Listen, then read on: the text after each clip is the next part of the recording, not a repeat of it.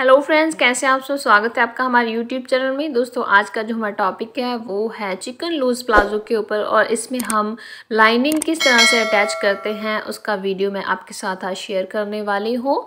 देखिए, बहुत आसान वे में मैं आपके साथ इसकी लाइनिंग का स्टिचिंग शेयर करूँगी। तो यहाँ पर देखिए, ये जो मेरा पूरा फैब्रिक था, ढाई मीटर का ये फैब्रिक होता है, ढाई मीटर से भी कम होता है और ये आड़ा होता है।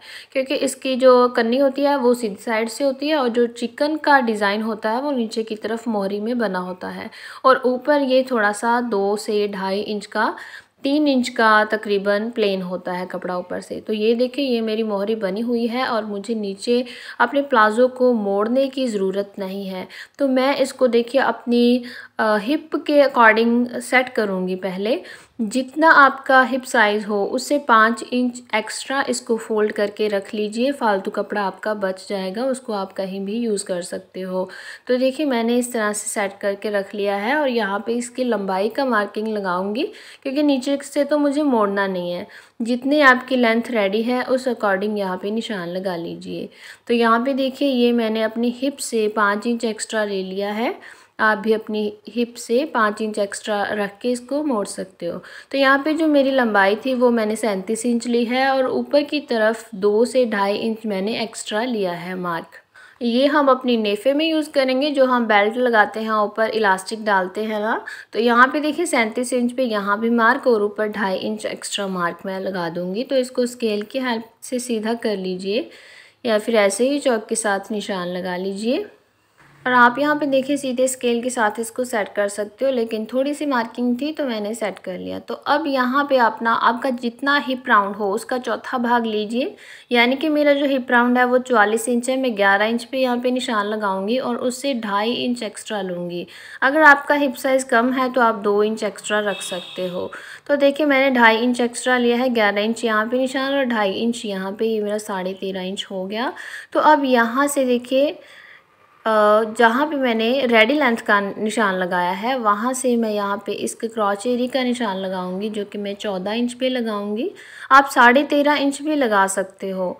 आसन भी आपने अपना हिप के अकॉर्डिंग ही लगाना है, जितनी आपकी हिप हो, उसका चौथा भाग लीजिए और उसमें यहाँ पे दो से ढाई इंच इंक्लूड कर दीजिए। ठीक है? तो ये देखिए, यहाँ पे मैं दो इंच एक्स्ट्रा लगाऊँगी। आगे से निशान। तो इस निशान को यहाँ तक करूँगी सीधा और यहाँ से हल्का सा कर्व दूँगी, ज़्यादा नुंगाई में आपने यहाँ पे कर्व नहीं देना, वरना आपका जो प्लाज़ो है अंदर की तरफ़ खिंचता रहता है तो यहाँ पे जितनी आपने मोहरी का निशान लगाना है, अपने अकॉर्डिंग लगाइए। मैं यहाँ पे मोहरी तेरह इंच की लगाऊँगी। तो अब यहाँ से देखिए स्केल रख के इसको यहाँ पे इस तरह से शेप दे दूँगी। अगर आपके पास स्केल नहीं है शेप वाला तो आप हल्के हल्के हाथों से यहाँ पे नीचे तक इंची टेप रख के निशान लगा सकते हो। तो अब इसी मार्किंग पे मैं अपनी कटिंग कर दूँगी। ये सिंपल सा फार्मूला था हमारा लूज़ प्लाज़ो कटिंग का।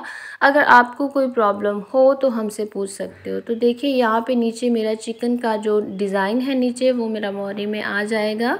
और मुझे नीचे फोल्डिंग के लिए कोई भी निशान नहीं लगाना है। चिकन प्लाज़ो में हमेशा मोहरी पे नीचे डिज़ाइन बना होता है, हमें मोहरी बनाने की ज़रूरत नहीं होती है। ऊपर जो बाकी फैब्रिक है, मैं उसको कट कर दूँगी, यहाँ पे कट लगाऊँगी, जहाँ पे मैंने नेफ़ा लगाना है, इलास्टिक बनानी है। तो चलिए इसको उठाती हूँ मैं, अब लाइनिंग का फैब्रिक लूँगी मैं। लाइनिंग का फैब्रिक मैंने दो मीटर यूज़ किया है, आप इसको कम भी यूज़ कर सकते हो। तो देखिए, ये टू फोल्डेड है और इसको मैं एक बार इस तरह से फोल्ड कर दूँगी, नीचे से ये फोल्डिंग वाला हिस्सा है, ऊपर से ये ओपन वाला हिस्सा है। और जो भी अनइक्वल कपड़ा है, मैं उसको सारा ट्रिम कर दूँगी कट कर दूँगी इक्वल कर लूँगी अपनी लाइनिंग वाले फैब्रिक को। तो ये भी, उसी को भी मैंने उसी तरह से फ़ोल्ड करना है। जितने आपकी हिप साइज़ है, उससे पाँच इंच एक्स्ट्रा फ़ोल्ड कर लीजिए। और उसी हिसाब से आप अपनी लाइनिंग को फैब्रिक को भी फ़ोल्ड कर सकते हो। तो फोर फोल्डर में हो गया। जस्ट हमने अपना प्लाज़ो का जो चिकन प्लाज़ो का फैब्रिक है, उसको जस्ट लाइनिंग के ऊपर रखना है और इसी शेप में इसको कट कर देना है। ठीक है फ्रेंड्स सिंपल वे में आपको बताऊँगी। तो नीचे देखिए, मैंने मोहरी में कपड़ा नहीं लगाना है लाइनिंग वाला। तो मैं नीचे से लगभग दो से ढाई इंच इसको ऊपर ही कट करूँगी। तो ये पूरा देखिए फैब्रिक हमारा ट्रिम हो गया लाइनिंग वाला पार्ट जो था हमारा। तो ये देखिए कुछ इस तरह से कटिंग होगी। नीचे से मैंने दो से ढाई इंच ऊपर ही रखा है लाइनिंग वाला फैब्रिक तो ये देखिए, चलिए इसकी सिलाई करते हैं अभी। तो स्टिचिंग के लिए सबसे पहले मैं अपने लाइनिंग वाला पार्ट लूँगी। लाइनिंग वाले पजामे को सिलूँगी, ठीक है? ये जो मेरा लाइनिंग वाला हिस्सा है, इसके मैं आसनों के ऊपर सिलाई लगा लूँगी दोनों तरफ़।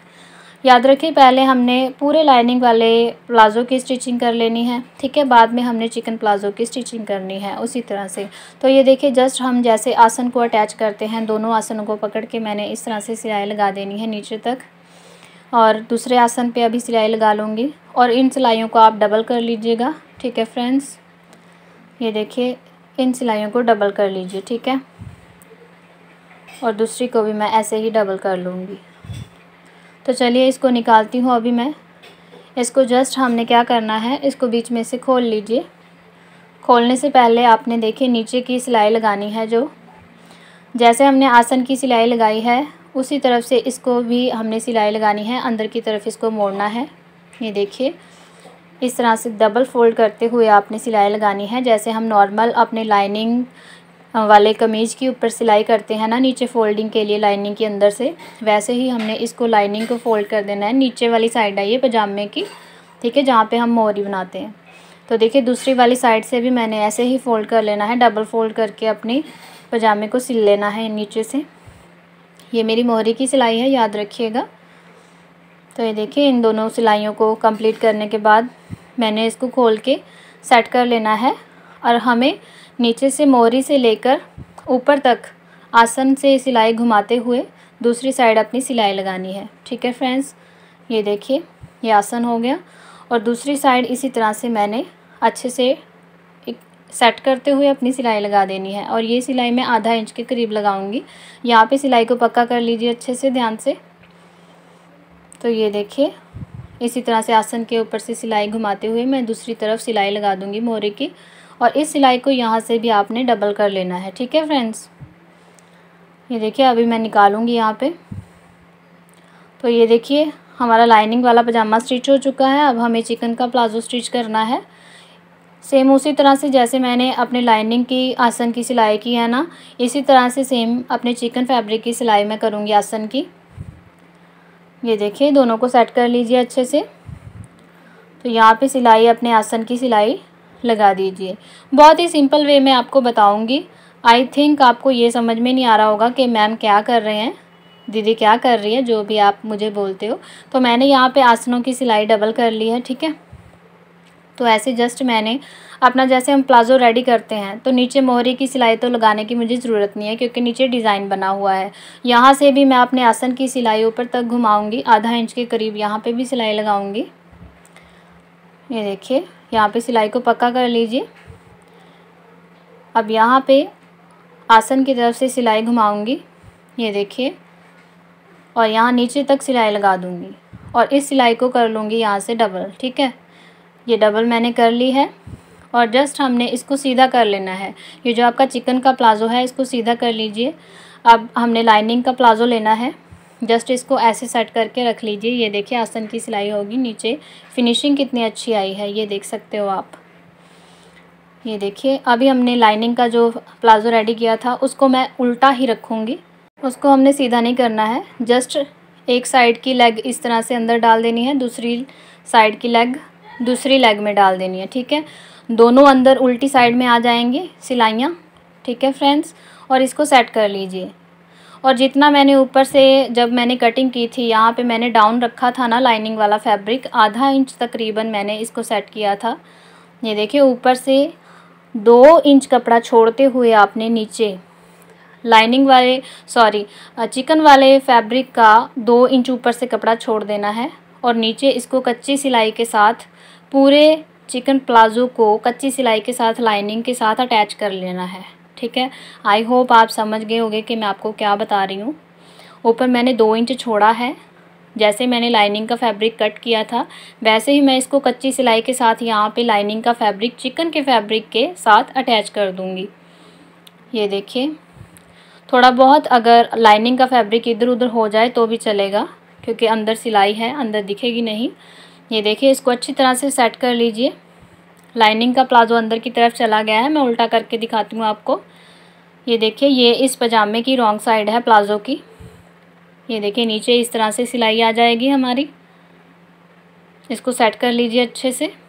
ये देखिए, बिल्कुल प्रॉपर सिलाई आएगी। कोई भी इधर उधर नहीं होगा कुछ भी, ठीक है?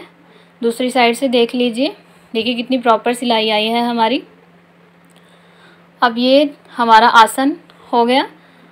ये देखिए, मैंने इसको सीधा कर लिया है चिकन प्लाजो को। ये देखिए, आसन की सिलाई अंदर के साथ अटैच हो जाएगी अंदर। बिल्कुल प्रॉपर तरीके से ये हमारा लूज़ प्लाजो बनता है, लाइनिंग के साथ जो हम लगाते हैं।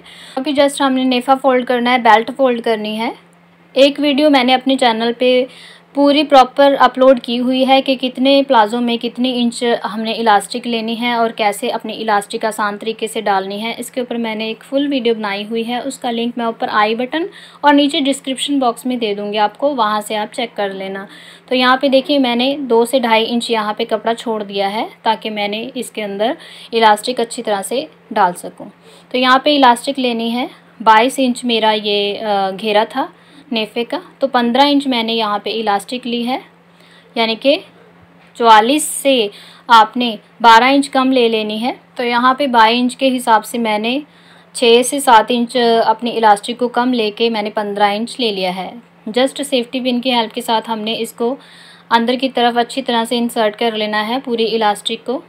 नेफे में से घुमा लेना है, बेल्ट में से, जो भी आप अपनी लैंग्वेज में बोलते हो। ठीक है, ये देखिए, इसको अच्छे से बाहर निकालना है। ये इलास्टिक आपके अंदर की तरफ़ घूमनी नहीं चाहिए। जैसे हमने इलास्टिक डाली है, वैसे ही आपने बाहर की तरफ़ निकालनी है। इस बात का ध्यान रखिए, क्योंकि कई बार अगर हम ऐसे इलास्टिक लगाते हैं तो अंदर की तरफ़ घूम जाती है। इस बात का ध्यान रखना है। अब इलास्टिक को एक दूसरे के ऊपर अच्छे से ओवरलैप करते हुए आपने यहाँ पे पाँच से छः बार अपनी सिलाई को पक्का करना है, ताकि आपकी ये इलास्टिक उधर ना जाए बाद में। जब आप सिलाई लगाओ तो ये देखिए, मैंने पाँच से छः बार इसके ऊपर सिलाइयाँ लगा के इसको पक्का कर लिया है। ये देखिए फ्रेंड्स तो अब पूरी इलास्टिक को देखिए मैंने अंदर की तरफ़ सेट कर देना है और जो मैंने खुला हिस्सा छोड़ा था उसके ऊपर मैं सिलाई लगा लूँगी। इस तरह से। अब इसको खोलूँगी मैं। अब इसको पूरी इलास्टिक को पूरे प्लाज़ो में सेट कर देना है आपने और एक सिलाई सेंटर में लगानी है आपने। ये देखिए। ऐसे खींचते हुए ना पीछे की तरफ़ से भी उतना ही खींचना है, आगे की तरफ़ से सेम खींचना है। दोनों तरफ़ से खींचते हुए आपने थोड़े से बड़े बखे के साथ सेंटर में सिलाई लगानी है। ये सिलाई हम इसीलिए लगाते हैं जब हम इसको धोते हैं तो हमारी इलास्टिक जो है इकट्ठी नहीं होती है, ठीक है? प्लाज़ो को। जब आप वॉश करते हो तो इलास्टिक अंदर की तरफ़ मुड़ती नहीं है। तो ये देखिए, हमारी इलास्टिक लग चुकी है और हमारा लूज़ प्लाजो बनके बिल्कुल रेडी है दोस्तों। अगर कुछ भी समझ में ना आए तो आप हमें कमेंट बॉक्स में कमेंट करके पूछ लीजिए, मैं आपके हर सवाल का जवाब दूँगी। तो बहुत ही आसान तरीके से हमने अपनी लाइनिंग का फैब्रिक अपनी चिकन प्लाजो में लगा लिया है। लाइनिंग वाला प्लाजो ये हमारा बन के रेडी है। और आई होप दोस्तों ये वीडियो आपके लिए ज़रूर हेल्पफुल रही होगी और वीडियो पसंद आए तो प्लीज़ हमारी वीडियो को लाइक और शेयर ज़रूर कर दीजिएगा दोस्तों। चैनल को सब्सक्राइब करना बिल्कुल भी मत भूलिएगा। और अगर आपको ये वीडियो पसंद आए तो प्लीज़ हमें कमेंट बॉक्स में कमेंट करके बताइए कि आपको ये वीडियो कैसी लगी, ये आइडिया कैसा लगा। तो ये देखिए लूज़ प्लाजो हमारा बन बिल्कुल रेडी है। और मैं चलती हूँ, मिलती हूँ अपनी किसी नेक्स्ट वीडियो में।